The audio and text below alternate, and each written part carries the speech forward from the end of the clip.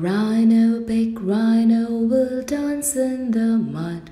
The lion will follow him in. And down in that hollow where elephants wallow in mud that comes up to the chin.